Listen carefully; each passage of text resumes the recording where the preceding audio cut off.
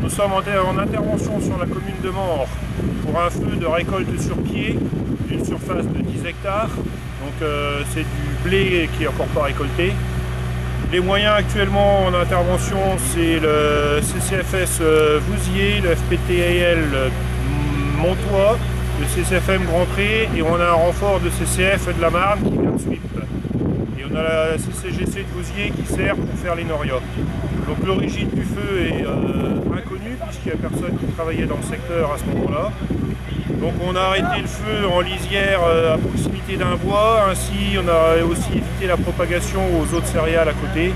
Et actuellement l'ensemble des moyens procède euh, au noyage de la zone non coulée pour éviter le repli.